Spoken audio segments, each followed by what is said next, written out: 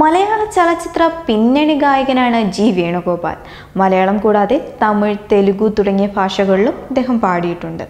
പറവൂർ സഹോദരിമാർ എന്നറിയപ്പെടുന്ന ശാസ്ത്രീയ സംഗീതജ്ഞരായ രാധാമണി ശാരദാമണി എന്നിവരുടെ അനിയത്തിയുടെ മകനാണ് വേണുഗോപാൽ. ഇപ്പോഴിതാ തന്നെ ഏറെ വേദനിപ്പിച്ചിട്ടുള്ള രാഗത്തെക്കുറിച്ചും അതിന് കാരണമായ ഒരു അപൂർവ അനുഭവത്തെക്കുറിച്ചും തുറന്നു പറയുകയാണ് ജി വേണുഗോപാൽ. എന്നെ ഏറെ വേദനിപ്പിച്ചിട്ടുള്ള രാഗമാണ് ശിവരഞ്ജിനി. അതിനൊരു കാരണമുണ്ട്. ഈ രാഗത്തിലാണ് കണ്ണു തുറക്കാത്ത ദൈവങ്ങളെ എന്ന ഗാനം ചിട്ടപ്പെടുത്തിയിരിക്കുന്നത്. കുട്ടിക്കാലത്ത് ഈ പാട്ടുപാടി എന്റെ വീട്ടിൽ ഭിക്ഷ യാചിക്കാൻ അന്തയായ ഒരു സ്ത്രീ വരും. ആഴ്ചയിൽ ഒരു ദിവസം അവർ കൃത്യമായി വരുമായിരുന്നു. ഞാൻ കാണുമ്പോഴൊക്കെ ഈ പാട്ടാണ് അവർ പാടിയിരുന്നത്. ഒരു ദിവസം ഉച്ച കഴിഞ്ഞ് നേരത്ത് സ്കൂൾ വിട്ടു വരുമ്പോൾ ഞങ്ങളുടെ വീട്ടിലേക്ക് തിരുന്ന ഇടവഴിയിൽ ഒരാൾക്കൂട്ടം. തിക്കി തിരക്കി ആ ആൾക്കൂട്ടത്തിനിടയിൽ കയറിയ ഞാൻ കണ്ട കാഴ്ച ഞെട്ടിക്കുന്നതായിരുന്നു. ആ സ്ത്രീ മരിച്ചു കിടക്കുന്നു. അതിനടുത്ത് അവരുടെ ചോറ്റുപാത്രം പകുതി തുറന്നു കിടപ്പുണ്ട്. ആ ചോറിലൂടെ ഉറുമ്പുകൾ വരിവരിയായി പോകുന്നു.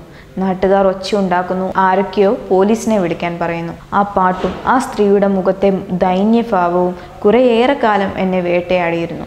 മലയാള സിനിമയുടെ പിന്നണി ഗാനരംഗത്ത് തന്റെതായ വ്യക്തിമുദ്ര പതിപ്പിച്ച കലാകാരനാണ് ഗായകൻ ജി വേണുഗോപാൽ.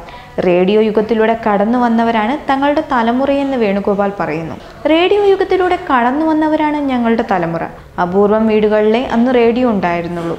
ആ വീടുകളിൽ വൈകുന്നേരം നല്ലൊരു ആൾക്കൂട്ടം ഉണ്ടാകും റേഡിയോ കേൾക്കുവാൻ വേണ്ടി മാത്രമായി. ചലച്ചിത്ര ഗാനങ്ങളായിരുന്നു റേഡിയോയിലെ ഏറ്റവും ജനപ്രിയ പരിപാടി.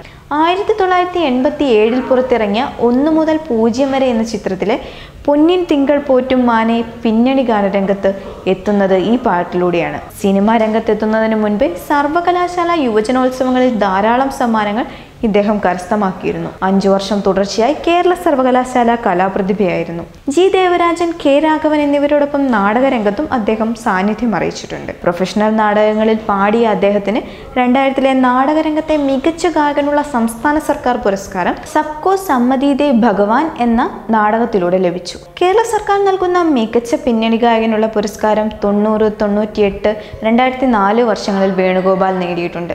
കവിതകൾക്ക് സംഗീതം നൽകി ആലപിക്കുന്ന ഒരു പുതിയ രീതിക്ക് തുടക്കം കുറിച്ചുകൊണ്ട് കാവ്യരാഗം എന്ന ആൽബം അദ്ദേഹം പുറത്തിറക്കി. പ്രശസ്തരായ മലയാള കവികളുടെ മികച്ച കവിതകൾ സംഗീതം നൽകി ആലപിക്കുകയുണ്ടായി. O. N. V Kurup Sugathakumari Sachidanandan Kadammanitta Ramakrishnan Vishnu Narayanan Namboothiri V. Madhusoodanan Nair എന്നിവരുടെ കവിതകൾ വേണുഗോപാൽ ആലപിക്കുകയുണ്ടായി.